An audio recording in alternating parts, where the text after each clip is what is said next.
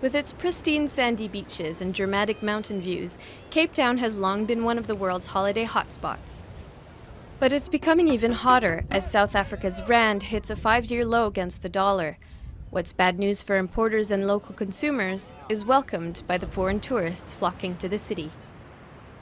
Before it was 10 rand, you got 10 rand for 1 euro, and now you got 14 rand for 1 euro, and that's perfect. Okay, now we can spend much more money on our holidays here. The number of foreign arrivals in Cape Town rose by over 14% between 2012 and 2013. Tourists spent over $1 billion in the city last year and are likely to spend even more this year as they make the most of the cheaper rand. For better or for worse, the weak rand just allowed me to have a giant wrap, a beautiful crepe, and two samosas for less than I've been paying for lunch uh, for the last few months. So weak rand has definitely helped me eat more on this holiday.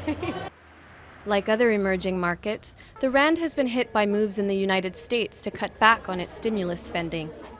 It also comes on the back of a series of violent labor strikes at home. With large deficits and spending needs to juggle, analysts say the outlook is unlikely to change soon. The depreciating trend is, is strong, um, the momentum is strong. We wouldn't be surprised to see it depreciate some more, but on a sort of medium term horizon, I would expect some stability and possibly even, you know, a, a small rally. For those who benefit from the dip, it means more profits and the chance to gain more share of global markets.